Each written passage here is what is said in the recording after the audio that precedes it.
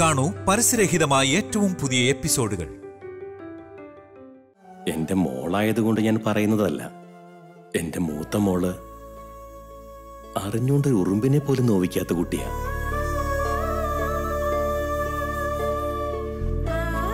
തെറ്റായ പാതകൾ ഒരിക്കലും സ്വീകരിക്കില്ല. അവളെക്കാളും മറ്റുള്ളവർക്ക് വേണ്ടി ജീവിക്കുന്നവളാ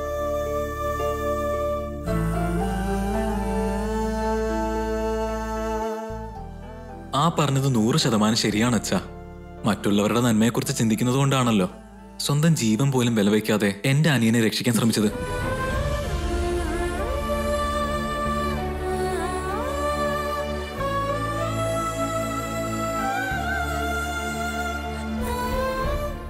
നിന്നെ പോലൊരു മോളുടെ അച്ഛനാണെന്ന് പറയാൻ തന്നെ എനിക്ക് എത്രമാത്രം അഭിമാനമുണ്ടെന്നറിയോ?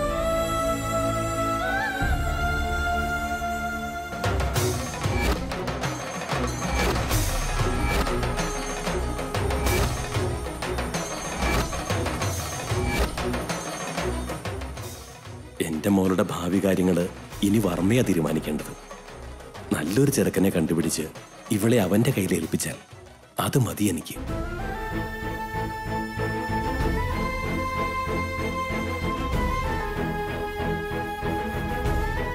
എന്തൊരാഴമുള്ള വിശ്വാസമാണിത്.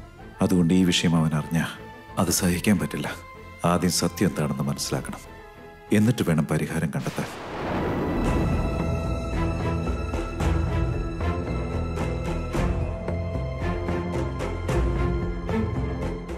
നമസ്കാരം വർമ്മേ. നമസ്കാരം രാമ. ഇരി. ഇരുന്നോളൂ.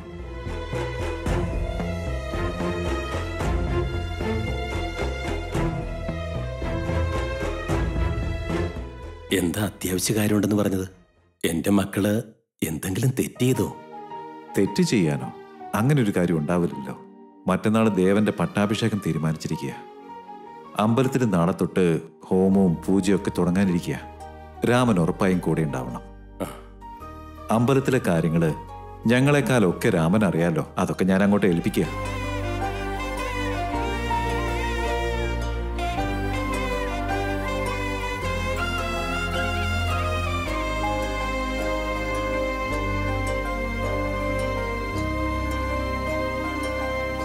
അതൊക്കെ ഞാൻ നോക്കിക്കൊള്ളാം. ഇതെന്നോട് ഫോണിൽ തന്നെ പറയായിരുന്നല്ലോ. ഇപ്പോഴും ഞാൻ കാര്യങ്ങളൊക്കെ തുടങ്ങുമായിരുന്നില്ലേ? അമ്പലത്തിലെ കാര്യങ്ങൾ ഞാൻ നോക്കിക്കോളാം. അന്ന് ഞാൻ ഇറങ്ങട്ടെ ഓർമ്മേ ആയിക്കോട്ടെ. പോട്ടെ അമ്മേ. പോയിട്ട് വാ മോനെ. പോവുക കൗസല്യ. ശരി രമേട്ട.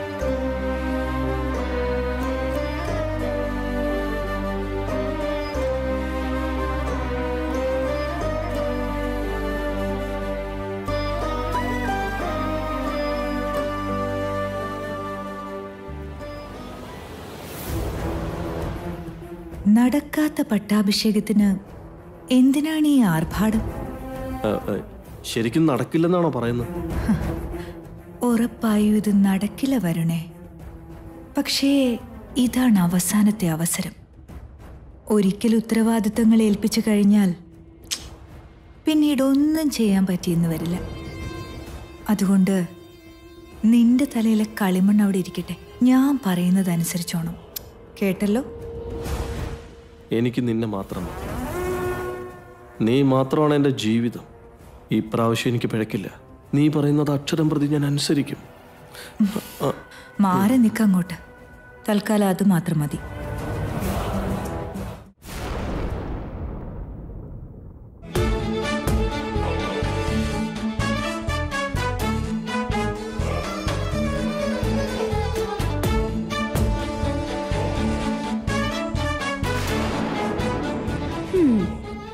അവരെക്കാളൊക്കെ നിനക്ക് എന്ത് കുറവുണ്ടായിട്ടാ? നിനക്ക് ഇതുവരെ ഹീറോയിൻ ആകാൻ പറ്റാതെ പോയത്. ഒടുവിൽ സ്വർണം വിറ്റ് കാശ് കൊടുത്തെങ്കിൽ ഹീറോയിൻ ആകാന്ന് കരുതിയപ്പോ അതും വെറുതെ ആയിപ്പോയി.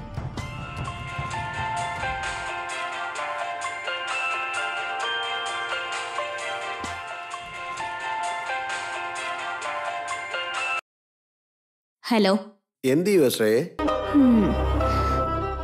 എന്ത് ചെയ്യാനാ ജയ സിനിമയിലെ ഹീറോയിൻസിനെ കണ്ട് ദീപാസ്വപ്നം കണ്ട് വെള്ളം ഇറക്കിയിരിക്ക. അത് കണ്ട് വിഷമിക്കരുത്. അത് തന്നെ ഒരു സ്പിരിറ്റ് ആയിട്ട് എടുക്കണം. സ്വർണം പോയാ പോട്ടെ. ഹീറോയിൻ ആവാനുള്ള അവസരങ്ങൾ ഇനിയും നിനക്ക് കിട്ടുമല്ലോ. നീ മറ്റൊന്നിനെ കുറിച്ചും ചിന്തിക്കണ്ട. നിന്റെ മനസ്സിലെ കണൽ അണയാതെ സൂക്ഷിച്ചാൽ മതി. അത് നിന്നെ എവിടെയോ എത്തിക്കും. ഒരു നാൾ നീ ഹീറോയിൻ ആവുമെന്ന് ഉറപ്പാ. അതെ അതെ. ഇവിടെ എന്റെ കഥ കഴിയാറായിരിക്കാം. പോലീസ് എപ്പ വരുമെന്നോ? എന്ത് ചോദിക്കുമെന്നോ അറിയാതിരിക്കോ. കള്ളിയാണെന്ന് പറഞ്ഞ് പിടിച്ചോണ്ട് പോയാലോ? വെപ്രാളം കൊണ്ട് എനിക്ക് ഒരിടത്ത് ഇരിക്കാൻ പോലും പറ്റുന്നില്ല. അങ്ങനെയുള്ള വെപ്രാളങ്ങളൊന്നും വേണ്ടെന്ന് ഞാൻ പറഞ്ഞതല്ലേ? ആ ഗോൾഡ് സ്മിത്തിനെ പോലീസ് പിടിച്ചുകൊണ്ടുപോയി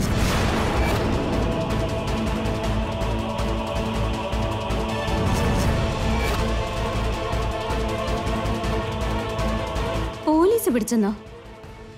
പിന്നെ പേടിക്കണ്ടെന്ന് പറഞ്ഞത് എന്തിനാ? പറയുന്ന മുഴുവൻ കേക്ക്. നമ്മൾ ആരാണെന്നൊന്നും അവർക്കറിയില്ല. എത്ര ചോദിച്ചാലും ഒരു കാര്യം പോലും നീ വിട്ടു പറഞ്ഞേക്കരുത്. ധൈര്യമായിട്ടിരിക്കും. ഒരു പോലീസും ഒന്നും അറിയാൻ പോകുന്നില്ല. പേടിച്ച് വേണ്ടാത്തതൊന്നും പറഞ്ഞേക്കരുതെന്നേ ഉള്ളൂ.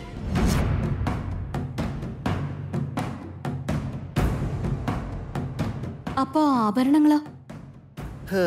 ഇനി എന്താ ആഭരണങ്ങൾ? അതൊക്കെ ഇപ്പൊ പോലീസുകാർ അടിച്ചു മാറ്റിയിട്ടുണ്ടാവും.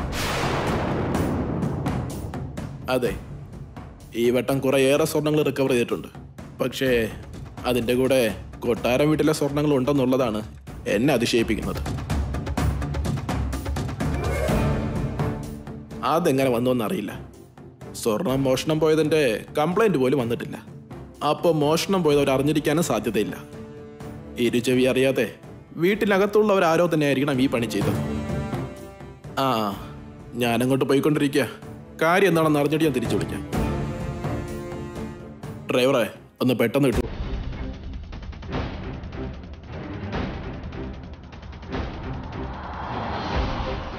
എന്തായാലും ഈ സ്വർണത്തിന്റെ പേര് പറഞ്ഞ് വർമ്മയുടെ മരുമോളെ ഒന്ന് ഇൻട്രോഗേറ്റ് ചെയ്യണം. ഞാനുമായിട്ടുള്ള വഴിയിൽ വഴക്കിട്ട് നിന്ന് ആ സമയത്ത് ദേവൻ എങ്ങനെ ഇവൾക്ക് താലി കെട്ടിയതെന്ന് അറിഞ്ഞിട്ടേ ഉള്ളൂ. ഒരേ സമയത്ത് രണ്ടിടത്തുണ്ടാവാൻ ഇവക്ക് വല്ല മന്ത്രവും ചാലോ അറിയാവോ. ഏയ് പെട്ടെന്ന് പോട്ടെ. സമയല്ല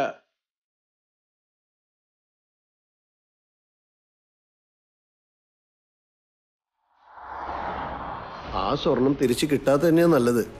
കിട്ടുവാണെങ്കിൽ ആരാ എന്താന്നൊക്കെ എൻക്വയറി ഉണ്ടായിരുന്നിരിക്കും അങ്ങനെ വന്ന നീ ചിലപ്പോൾ പിടിക്കപ്പെട്ടേക്കാം. അതുകൊണ്ട് ഞാൻ നേരത്തെ പറഞ്ഞ പോലെ ഒന്നും അറിയാത്ത പോലെ മിണ്ടാതെ നിന്നേക്കണം. മനസ്സിലാവുന്നുണ്ടല്ലോ? ശരി.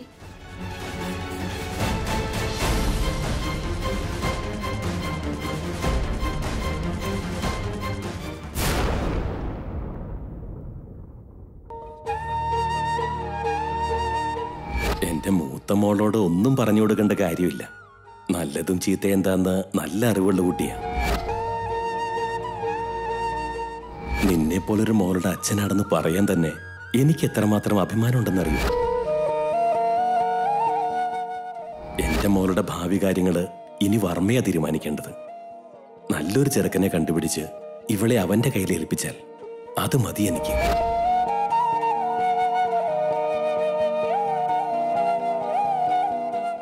എന്റെ കാര്യത്തിൽ അച്ഛന് എന്തുമാത്രം വിശ്വാസോ? പക്ഷെ ശ്രേയ ഇവിടെ എന്തൊക്കെയാ ചെയ്തു കൂട്ടുന്നേ? അതൊക്കെ അച്ഛൻ അറിഞ്ഞാൽ സഹിക്കൂ. കല്യാണം നടന്നത് ശ്രേയയ്ക്കല്ലെന്നും ദേവേട്ടൻ താലി കിട്ടിയത് എനിക്കാണെന്നും അച്ഛൻ അറിഞ്ഞ? എന്നായാലും അത് വലിയൊരു പ്രശ്നം തന്നെയായിരിക്കും. അപ്പോ ഇതിനൊരു പരിഹാരമല്ലേ?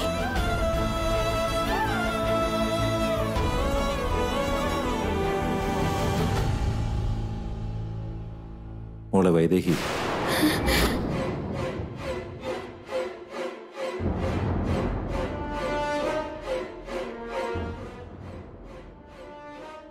മോളോടൊരു കാര്യം ചോദിക്കാനുണ്ട്. മോൾ തെറ്റിദ്ധരിക്കരുത്. അയ്യോ അച്ഛൻ എന്താ ഇങ്ങനെയൊക്കെ പറയുന്നേ? അച്ഛൻ ചോദിച്ചു? വൈദേഹി എന്താ കല്യാണം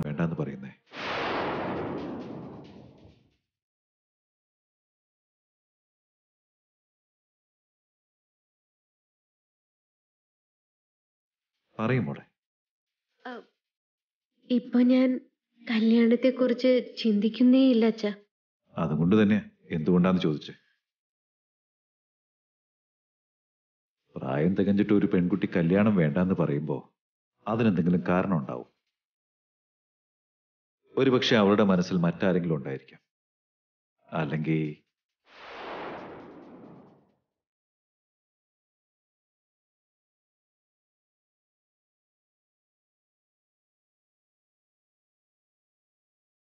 അവളുടെ കല്യാണം കഴിഞ്ഞിട്ടുണ്ടാവണം.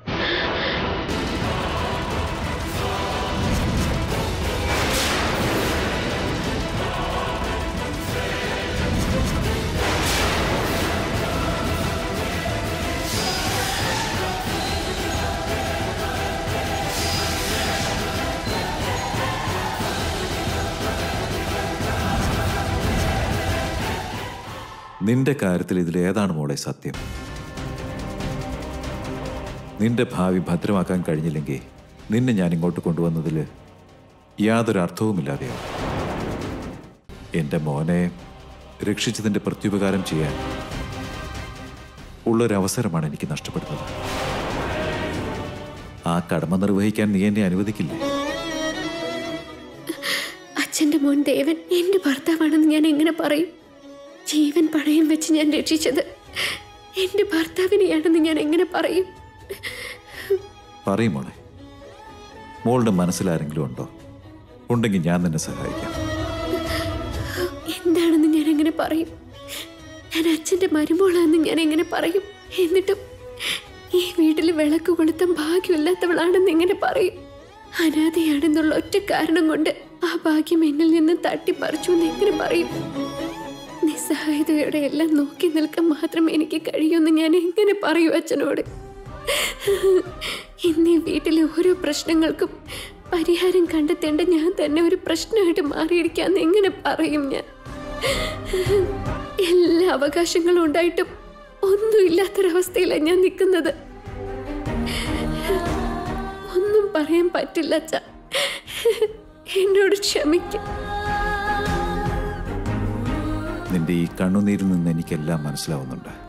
പുറത്ത് പറയാൻ പറ്റാത്തതെന്തോ മനസ്സിനകത്തിട്ട് പിടയുകയാണ്. നീ നിന്റെ മാനസികാവസ്ഥ എനിക്ക് മനസ്സിലാവുന്നുണ്ട് വൈദേഹി. ഇനി ഇത് ചോദിച്ച് ഞാൻ നിന്നെ വിഷമിപ്പിക്കില്ല.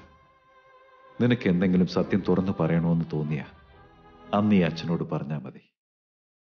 എന്നും ഞാനുണ്ടാകും നിന്നെ സഹായിക്കാൻ. അതും എന്റെ കടമയാണെന്നുള്ള കാര്യം നീ മറക്കണ്ട.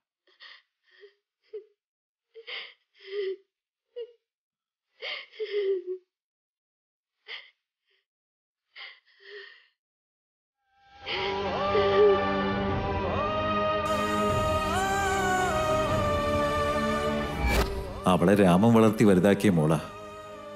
അവളെ എനിക്ക് പൂർണ വിശ്വാസം. അന്ന് ഈ അച്ഛനോട് പറഞ്ഞാൽ മതി. എന്നും ഞാനുണ്ടാകും നിന്നെ സഹായിക്കാൻ. അതും എന്റെ കടമയാണെന്നുള്ള കാര്യം നീ മറക്കണ്ട.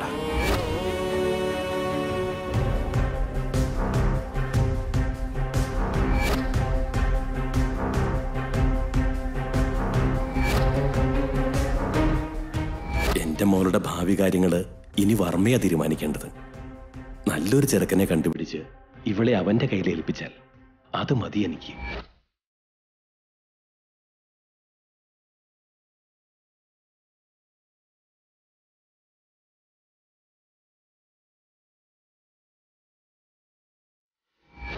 ഒരവസരമാണ് എനിക്ക് നഷ്ടപ്പെടുന്നത്.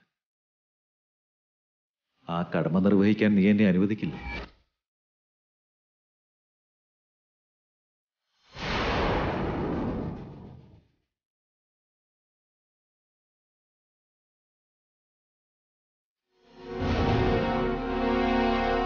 വൈദേഹി എന്തുകൊണ്ടാ സത്യം പറയാതെ ആരായിരിക്കും അവളെ താലി കെട്ടിയത്? ഇനി സ്നേഹമാണെന്ന് പറഞ്ഞ് ആരെങ്കിലും അവളെ ചതിച്ചതായിരിക്കുമോ അങ്ങനെ വല്ലതും സംഭവിച്ചതാണെങ്കിൽ അതാരാണെന്ന് തുറന്നു പറഞ്ഞാൽ മാത്രമല്ലേ അവൻ ആരാണെന്ന് കണ്ടെത്തി അവനെ ശിക്ഷിക്കാനാകൂ.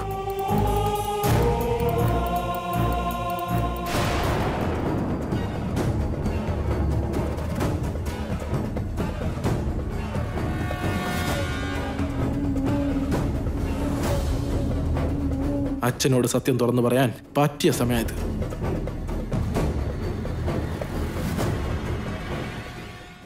അച്ഛാ. എന്താ വിനയ? അച്ഛനോടൊരു വലിയ കാര്യം പറയാനുണ്ട്. അന്ന് അച്ഛൻ അമ്പലത്തിൽ പോയില്ലായിരുന്നോ? അപ്പോ? അതല്ലേ നീ നേരത്തെ പറഞ്ഞത്. എന്നെ കാണാൻ ആരോ വന്നു എന്നും പിന്നെ വരാന്ന് പറഞ്ഞ് പോയിന്നും. ശരിക്കുള്ള കാര്യം അതൊന്നും അല്ല അച്ഛാ. ഞാൻ കാര്യം പറയാൻ വന്നപ്പോഴാ വരുൺ ചേട്ടൻ കയറി വന്നേ. അപ്പോ എന്തോ പറഞ്ഞ് തടി തപ്പിയതാ ഞാൻ. വരുൺ ഇവിടെ ഉണ്ടെങ്കിൽ നീ എന്തിനു പേടിക്കുന്നു? എന്താ? അവന്റെ മുമ്പിൽ വെച്ച് ഒന്നും പറയാൻ പാടില്ലെന്നുണ്ടോ? ഈ കാര്യം മാത്രം പറയാൻ പറ്റില്ല അച്ഛാ. കാരണമുണ്ട്. അന്ന് വരുൺ ചേട്ടൻ ആരും കാണാതെ അച്ഛന്റെ മുറിയിൽ കടന്നിരുന്നു.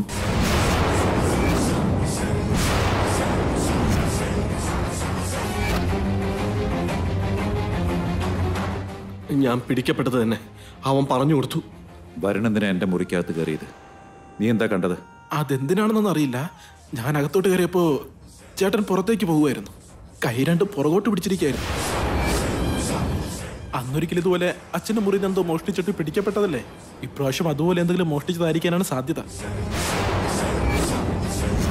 വരുൺ!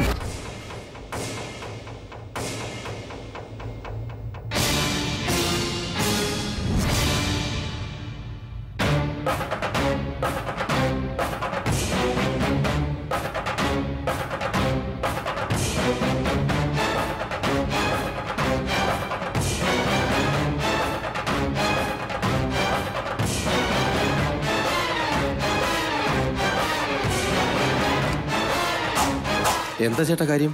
ഇതിൽ നീ ഇടപെടാതിരിക്കുന്നതാ നല്ലത്. നിന്റെ മകൻ നല്ലവനായെന്നല്ലേ പറഞ്ഞത്. അത് വിശ്വസിച്ച ഈ ഞാനാ തെറ്റുകാരൻ. ഇവനൊന്നും നന്നാവില്ല. പറയടാ നീ എന്തിനാ എന്റെ മുറി കടന്നത്? അത് ഞാനില്ലാത്ത സമയത്ത് എന്റെ മുറിയിലേക്ക് ആരും കടക്കാൻ പാടില്ല എന്ന് പറഞ്ഞിട്ടുള്ളതല്ലേ? എന്ത് തോന്നിവാസം ഒപ്പിക്കാനാ നീ അകത്ത് കടന്നത്?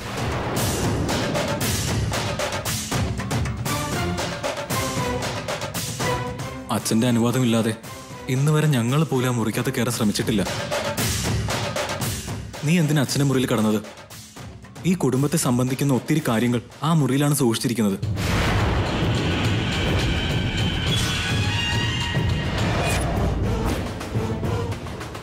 നീ എന്തിനാ വരുണെ അങ്ങോട്ട് കയറിയേ എന്തെങ്കിലും വേണമായിരുന്നെങ്കിൽ അത് വല്യച്ഛനോട് ചോദിച്ചാ പോരെ?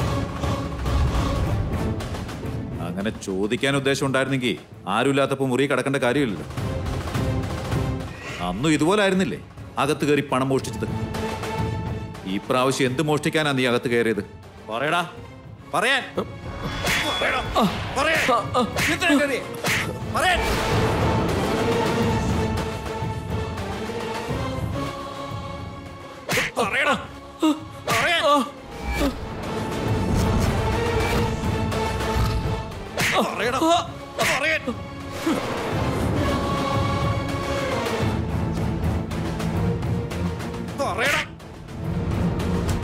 അനുവാദം ഇല്ലാതെ മുറിക്കകത്ത് കയറിയതിന് ഇതാണ് അവസ്ഥയെങ്കിൽ ഞാൻ ആ സ്വർണങ്ങൾ നഷ്ടപ്പെടുത്തിയെന്ന് അറിഞ്ഞ പറയടാ എന്തിനകത്ത് കയറി എന്താടാ നീ മോഷിച്ചത് അവിടുന്ന് ഞാൻ ഒന്നും എടുത്തിട്ടില്ല വലിയ ഞാൻ അവിടെ വെറുതെ കയറിയുള്ളൂ